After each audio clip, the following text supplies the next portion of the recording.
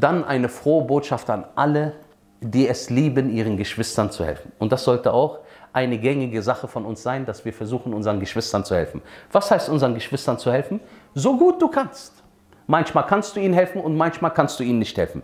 Denn der Gesandte sallallahu alaihi wasallam. Und die, die Überlieferung ist bei Ibn Abi ad-Dunya, liebe Geschwister, und bei At-Tabarani und Sheikh al-Albani sagte in Silsila as-Sahiha, dass sie authentisch ist.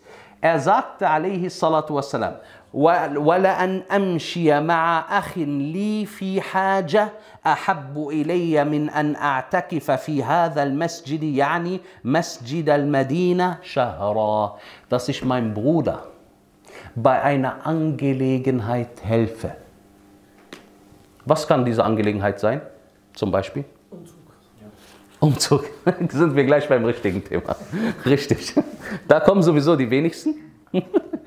Wenn du zehn Leute haben möchtest, musst du wie viele Leute anrufen?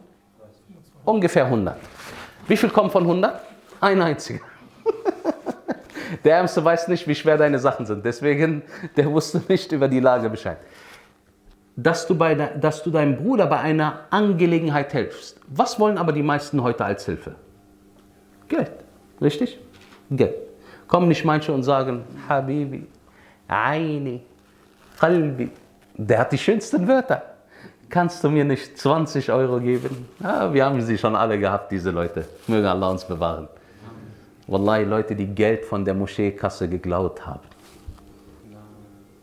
Und sie denken, dass sie erfolgreich sein werden. Sie wissen nicht, dass dieser eine Cent, wenn es nur ein Cent wäre und es war mehr, dass dieser sie in Jahannam hereinstürzen kann. Aber manche Leute, sie lieben das Geld und sie fürchten Allah subhanahu wa ta'ala nicht.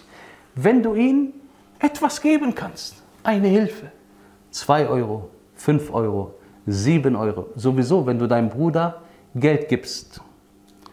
Und du bekommst es von ihm wieder, zum Beispiel er sagt dir, kannst du mir 100 Euro leihen, dann gibst du ihm 100 Euro, dann sind 50 Euro von diesen, von diesen 100 Euro, die Hälfte, sofort Sadaqa, obwohl du sie wieder zurückbekommst.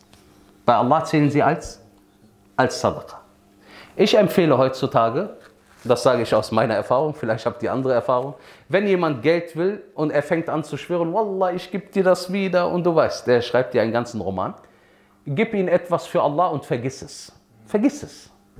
Wallahi, weil ansonsten wirst du nur Hass und Groll gegen ihn bekommen, so mies wie er danach handelt.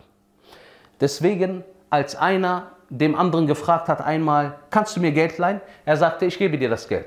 Aber du küsst jetzt erstmal meine Hand, dann gebe ich dir das Geld. Er sagt, warum soll ich deine Hand küssen? Er sagt, guck mal, wenn ich dir das Geld gebe, dann werde ich hinterherlaufen, bis ich dir die Füße küsse, dass du es mir zurückgibst. Deswegen küsst jetzt meine Hand. Und so ist das. Das ist so leider, liebe Geschwister. Wallah al-Adim. Er kommt mit so einem guten Charakter, wenn du ihn hörst. Gesicht lächelt.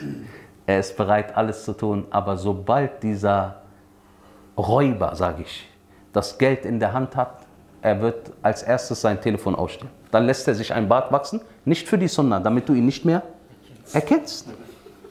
Das haben wir kennengelernt. Wir wollen diese ganzen Themen nicht haben, liebe Geschwister, damit nichts in unser Herzen kommt. Was haben wir gesagt? Gib ihm einfach das Geld und, und vergiss es. Wenn du deinem Bruder in einer Angelegenheit hilfst, Klammer auf, Klammer zu, auch wenn du versuchst, ihm zu helfen und du konntest ihm nicht helfen, so sagte der Prophet sallallahu alaihi wasallam, dass ich ihm helfe, ist mir lieber, als dass ich einen Monat in meiner Moschee, Masjid al-Nabawi, wo ist sie, in welcher Stadt? In Al-Madina, ist mir lieber, dass ich einen Monat I'tikaf in dieser Moschee mache. Was ist I'tikaf?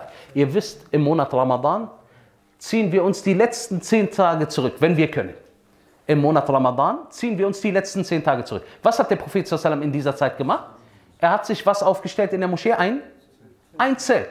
Was wollte er erreichen in den letzten zehn Tagen? Was wollte er erreichen? Laylatul Qadr. Laylatul Qadri khayrum min alfi shahr. Laylatul Qadr ist besser als tausend Monate. Deswegen hat der Prophet ein Zelt aufgeschlagen. Und er hat dieses Zelt nicht einfach so aufgeschlagen. Er hat in der Masjid, wo man eigentlich relativ Ruhe hat, nochmal ein Zelt aufgeschlagen, damit er seine Ruhe hat, um was zu machen. Was macht man in der Masjid? Ha? Beim Ertikaf. Dhikr, sehr gut. Ibadah, allgemein. Was noch? Koran lesen und das ist das Beste im Monat Ramadan. Dieses alles und ein Gebet in Masjid al-Nabawi zählt wie viel? Wie viel an Lohn?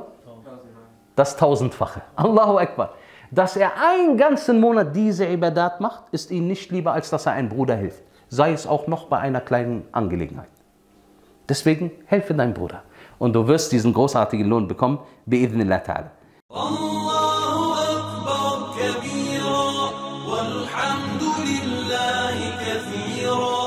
سبحان الله بكرة وأصيلا